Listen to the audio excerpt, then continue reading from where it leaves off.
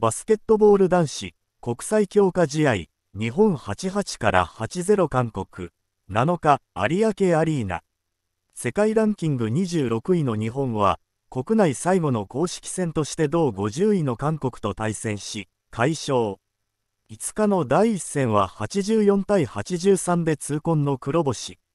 リベンジを果たし、8強入りを目指すパリ五輪へ弾みをつけた。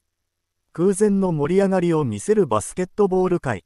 コートサイドの席には豪華有名人がずらりと顔を揃えた。馬場雄大の妻で、女優の森環奈と共に観戦していたのは、女優の吉高由里子、三好彩香、お笑いコンビハリセンボンの近藤春菜。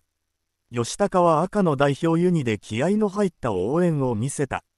テレビ朝日の地上波中継でも日本の得点の瞬間に映り込み、そのあまりの豪華さに SNS では、豪華メンバーいるわ、美しい一列目が映るの眼福、こんなしっかり映ってええの。と、驚きの声で溢れた。